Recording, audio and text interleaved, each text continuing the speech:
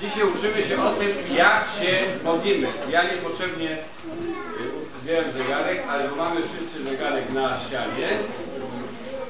To jest specjalny zegarek, y, żeby nie przedłużać modlitw. Ponieważ mówimy dzisiaj o modlitwach. Modlitwy, nie wiem jak Mateńko, to jest u prawosławnych, ale są bardzo długie. Ile trwają? Kto wie? Dwie godziny? Godzinę? Cztery godziny. Dlatego ławki powinny być w miarę wygodne. U nas można więcej siedzieć niż stać. U prawosławnych więcej stoimy niż siedzimy, tak? Zwyczaj jest taki, że tam były różne części. Był przedsionek, była część środkowa, pamiętamy? Taka duża, ładna.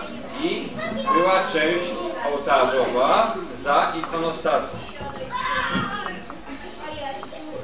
No, wszyscy siedzą wygodnie, tak? U nas jest taki zwyczaj, że jak starszy mówi, to młodsi milczą.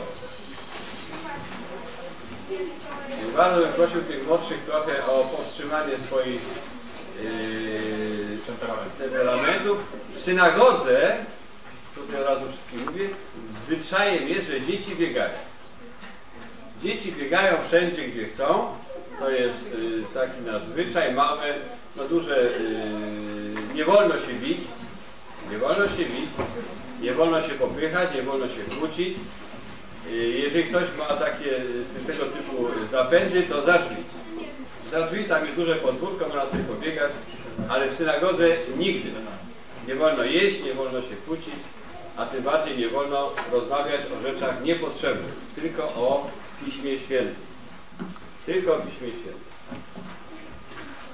Yy, mówię o kobietach i mężczyznach, dlatego że w synagogach jeszcze inaczej niż yy, w cerkwiach, które nawiązują do świątyni w Jerozolimie, yy, w świątyni w Jerozolimie było oddzielne podło pod- podłoże dla kobiet, gdzie mogli wchodzić mężczyzny, ale kobiety poza ten teren nie mogły wchodzić.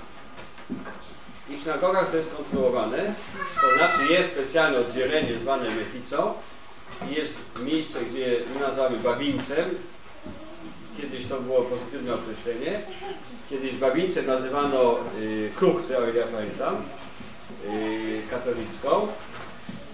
Czyli to, to pomieszczenie dla kobiet. We Wrocławiu wyjątkowo, tylko we Wrocławiu y, pomieszczenie dla kobiet nie jest oddzielone ścianą od mężczyzn. Bo ta ostatnia ławka, kto siedzi w ostatniej ławce? No? Kto siedzi w ostatniej ławce? Wy siedzicie, tak? To proszę być grzecznym, ale za wami, tam już jest ściana i tam już mogą siadać kobiety, a przed wami na nabożeństwie kobiety nie powinny siadać, tylko sami mężczyźni. Mężczyzną jest każdy chłopiec, który skończy 13 lat. 13 lat, to jest taka granica wieku. Ja Wam pokażę to, co najważniejsze przy nabożeństwie. Dobrze, dzieci? Byliście kiedyś w synagodze? Nie? To ja może zejmę marynarkę, żeby było łatwiej. Bo to będzie szybciej. Mają. No. Można otworzyć, można dotknąć. Dzisiaj wyjątkowo wszystko można. No, coś takiego mają dziwnego na końcu. Proszę. Frędzle, bardzo dobrze. Ile tych frędzli jest? Cztery. No, to policz. Cztery długie. Ile jest frędzli? Ile rogów ma chusta? O, może tak łatwo. Cztery. Wobec tego mamy cztery frędzle. Dlaczego tak jest? Ponieważ w Piśmie Świętym jest napisane, że będziesz nosił szaty, a w jego rogach frędzle. Cicisz po hebrajsku. Cicisz. Ja wam pokażę teraz jak się takie frędzle wkłada. Mamy dwa rodzaje frędzli w ogóle. Mamy tak zwane małe, mały tałes, tałes czyli puste. Ja noszę, ale nie lubię nosić frędzli na wierzchu, widzicie, tak żeby cały dzień nosić frędzle po to, żeby pamiętać o czym? O czym najtrudniej pamiętać dzieci? O Bogu to, to zawsze pamiętamy, ale po co nam frędzle do tego? Żeby być grzecznym. Żeby być grzecznym. Bo jak się nie widzi, prawda, takiego przypominania, żeby być grzecznym, to łatwo sobie zapomnieć, prawda? I mogę się z kolegą pobić, mogę zapomnieć o lekcjach, mogę y, robić różne złe rzeczy, ale jeżeli cały czas patrzę na frędzle i mam je na sobie, to jest łatwiej czy? O Boże! Pan Bóg cały czas mnie pilnuje, prawda? Tak samo mam jabłkę, ponieważ nade mną jest Pan Bóg i On mnie pilnuje. Jak coś, to mnie złapie za głowę i będzie ze mną marły. Wobec tego pod spodem ubieramy taki mały cycki, a na wierzchu ubieramy sobie tałes. Tałes ma na górze co? Napis. Proszę? Napis. Na- na- napis, ale nie musi mieć napisu, musi mieć kołnierz. Kołnierz, każda koszula porządna, wy macie t-shirty, to nie wiecie co to jest. Ale koszula ma kołnierz, prawda? Więc tak, ta chusta też ma kołnierz, ta, ta, ten kołnierz nazywa się atara. Najczęściej są to bardzo ładne takie kołnierze, ponieważ zwyczaj jest, że kiedy yy, Żydzi biorą ślub, to narzeczona daje przed ślubem narzeczonemu piękny tałes. I potem się można chwalić, że zobaczcie jaki mam piękny tałes. Mój jest, zwykle tałesy są niebieskie lub czarne, E, bo tak pisze w Piśmie żeby miał niebieskie cici, ale cici są białe i to jest e, opowieść na zupełnie inną historię, dlaczego w Biblii pisze inaczej, a my nosimy inaczej.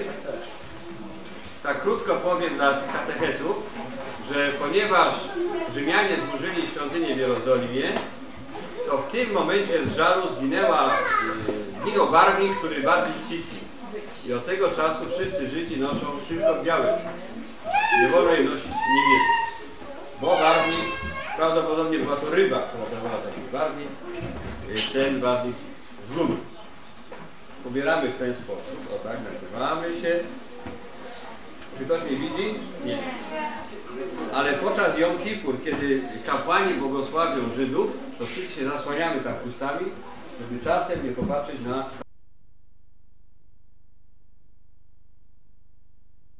Jak także są momenty, kiedy nie wypada patrzeć na kapłanów. Tak samo w świątyni, kiedy kapłani w ten sposób błogosławili lud, to nie wolno było na nich patrzeć. Wobec tego nakrywano się chustami. I do tego między innymi chusty służyły. A więc mamy chustę, tak? Ile ma y, frędzli? Bo ja zapomniałem. Cztery. Cztery, dobrze. Ale w każdym frędzlu jeszcze są nitki. A kto potrafi policzyć ile jest nitek? Osiem. Bardzo dobrze, już policzył. Jest osiem nitek, tak? Zgadza się. Ponieważ yy, bierze się cztery nitki, je się ze sobą przewleka, ale chyba nikt wam nie, po, nikt nie powie ile jest węzłów. Siedem. Pięć węzłów, dobrze. W zasadzie, w zasadzie jest pięć węzłów. Słusznie powiedziałeś, siedem to wtedy liczy podwójne tak. To są wszystko liczby magiczne.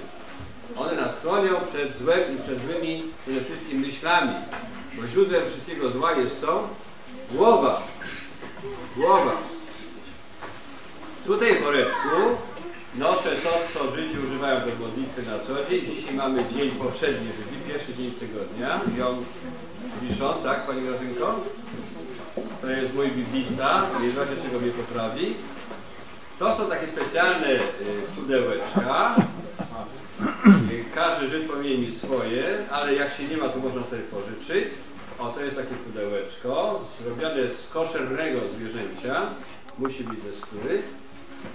Yy, z rzemykami i te pudełeczka mocujemy sobie na ręce i na głowie. Dlaczego? Dlatego, że w Piśmie pisze i będziesz pamiętał o moich słowach, czyli o Biblii i o przykazaniach i o tym, żeby być jakim? Grzecznym, tak? Nie rozrabiać za bardzo, a jak rozrabiać, to tak, żeby nikogo nie skrzywdzić.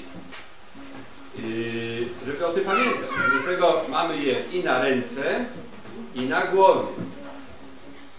Inni mówią, że wystarczy o tym pamiętać. Natomiast Żydzi dosłownie mocują sobie i na rękach, i na głowach takie yy, pudełeczka z tymi napisami. I będziesz pamiętał o mych przykazaniach zawsze. I jak wstajesz, i jak się idziesz spać, i jak przechodzisz, i jak...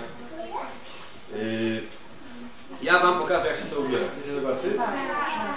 To jest cała ceremonia. Ja to zrobię bez błogosławień, żeby było y, krócej. Zwykle ubieramy y, taki, y, taki tałec na słabszą rękę. Która ręka jest słabsza? Lewa. Teraz, która jest moja lewa? Ta, ta, tak? Dobrze. Ta, lewa, ta ręka jest lewa. Ubieram sobie tutaj na biceps. Chłopcy wiedzą, gdzie jest biceps. Dziewczynki mniej wiedzą, tak? Proszę, ja teraz pokażę za w środku. Tam, są, tam jest Pismo Święte. Takie malutkie, tak. Obowiązujemy sobie dookoła ręki. Czasem na obrazkach byście widzieli, ale ja Wam pokażę to, jak to naprawdę wygląda. Pani Grażynko, prosimy bliżej, jak ktoś tutaj Pani pomoże.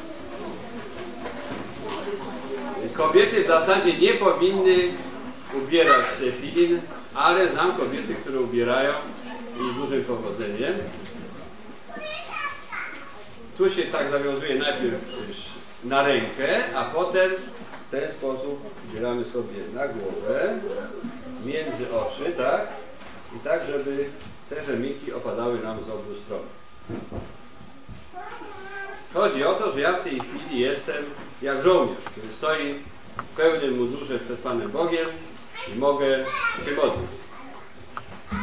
Owiązujemy sobie y, palce w odpowiedni sposób, tak aby te rzemyki tworzyły imię Boże. Imię Boże po hebrajsku to jest Shaddai. Tak? Shaddai i kiedy zobaczycie te rzemyki obwiązane, kto zna hebrajski, to czyta, że to jest literka Shin, Dalet i Jud. Shaddai.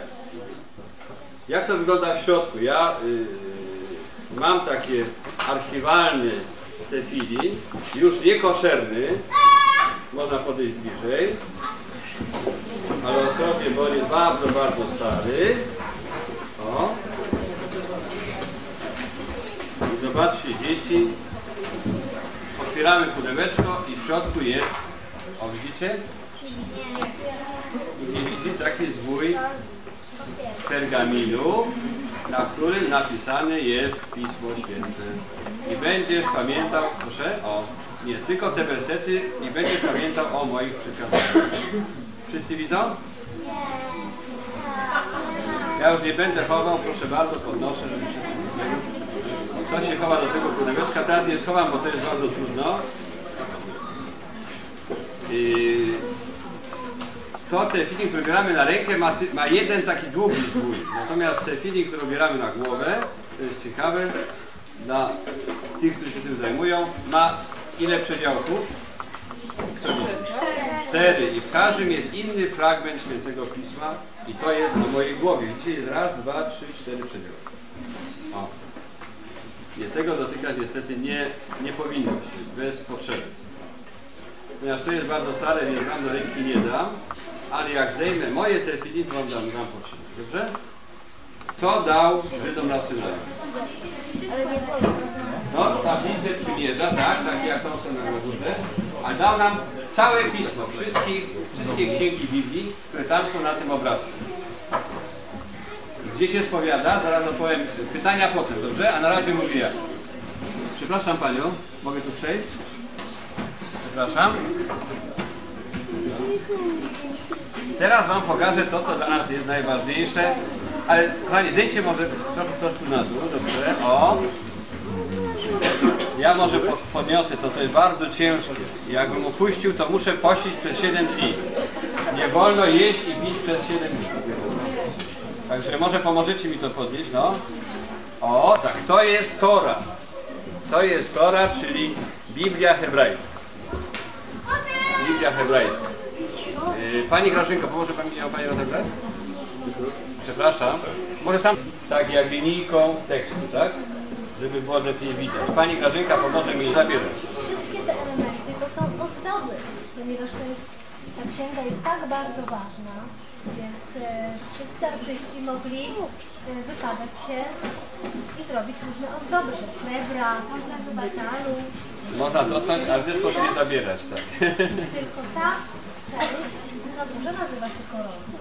To ta t- plakietka to się nazywa tarcza i w tarczy są specjalne drzwiczki, które służą do tego, żeby zaznaczyć na jaką część Biblii jest nawinięta Tora. O, widzicie, są drzwiczki, które trzymają co? Kto to trzyma te drzwiczki? Lwy, bardzo dobrze.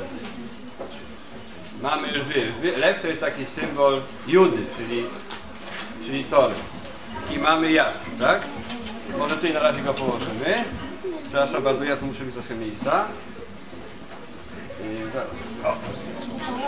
Zdejmujemy, a mamy jeszcze jedną rączkę, dobrze. I zdejmujemy.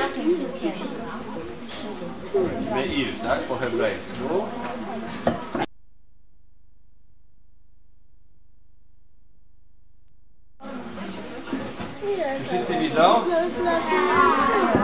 Są blisko, to widzą.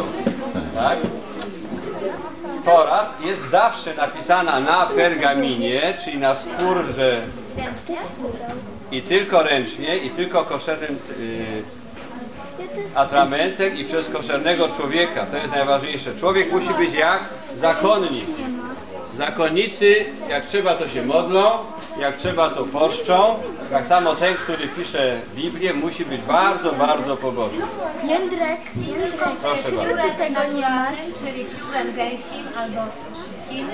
Nie może to być długopis, czy dowolne coś do pisania. Teraz ja, dzieci, przepraszam bardzo, bo to jest bardzo ciężkie. Ja Wam pokażę wszystkim kawałek tory. Ona waży około 7 kg. O, proszę bardzo, zobaczcie.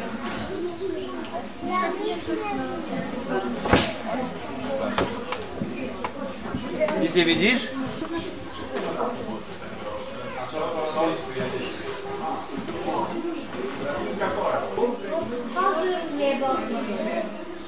I tak my zaczynamy to. Tora musi być napisana dobrze? Jest siedem rodzajów pisma i jak już wybierzesz Proszę jaki bardzo, dziękuję. styl, to wtedy chce się zobaczyć, musi